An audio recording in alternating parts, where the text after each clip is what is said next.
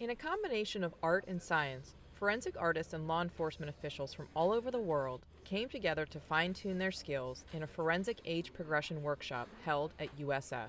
We are uh, just another tool for law enforcement to use to help catch the bad guys.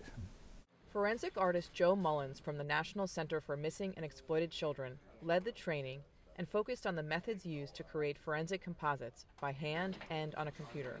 It's all about that, that, that spark.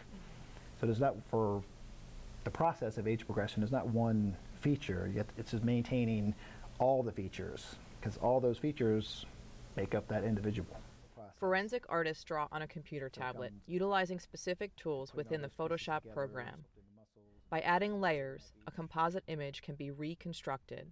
In order to identify and distinguish unique, recognizable characteristics and translate them to the page, artists also need precise skills sketching with a pencil.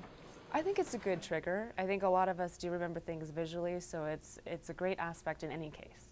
Police dispatcher Kelly Fregosi traveled here from San Francisco to work on her drawing skills. The composite images can be helpful to law enforcement in numerous ways and oftentimes be a crucial piece in solving cold cases. USF Assistant Professor Erin Kimmerle helped bring the workshop to USF in 2007 so anthropology students could build their skills alongside professionals and apply those methods in their own fieldwork. Well, there's a number of different ways in which the methods that are taught here are used.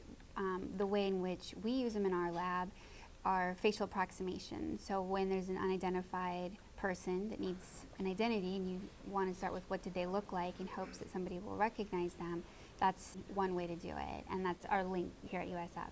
In the class drawing exercise, students sketched a celebrity and attempted to hold on to those unique characteristics to see if their peers would pick up on them. I had Monica Lewinsky. and how do you think she turned out? She turned out okay. Uh, to be honest, I didn't really know who it was when I was first drawing it until you know he triggered and said that's who it was.